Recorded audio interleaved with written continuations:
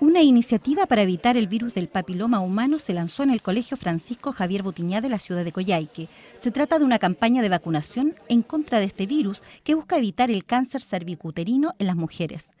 A nivel regional serán más de 800 dosis las que se aplicarán a estudiantes de cuarto año básico. Juntos por ellas, una campaña que nos enorgullece mucho como gobierno de la presidenta Bachelet, porque por primera vez vamos a contar con una política pública dentro del Programa Nacional de Inmunizaciones del Ministerio de Salud que le garantiza a las mujeres eh, prevenir el cáncer del cuello del útero y, y las otras enfermedades asociadas al virus del papiloma humano. A partir de hoy y cada año vacunaremos de manera gratuita a todas las niñas de los establecimientos educacionales y que cursan cuarto año básico. Esto es inédito en tanto la vacuna ya existía, pero hoy día como Estado estamos garantizando que independiente del establecimiento educacional y de la situación socioeconómica de nuestras niñas, van a tener acceso a una política pública que les va a permitir, prevenir, eh, en este caso, una enfermedad, un cáncer que es prevenible, pero que no todas tenían acceso a la vacuna, así que por lo tanto estamos muy contentos como gobierno. A nivel país fallecen más de 600 mujeres de cáncer cervicuterino,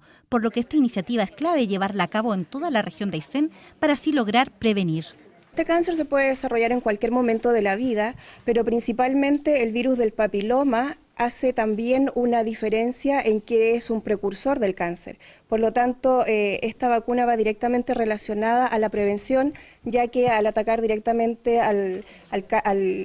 papiloma, vamos a tener una prevención desde esta edad temprana, considerando además el inicio de la actividad sexual, que en los jóvenes alcanza o llega alrededor de los 15 años. Se estima que la campaña entrega protección a las vacunadas, por lo que se espera a futuro prevenir el cáncer cervicouterino.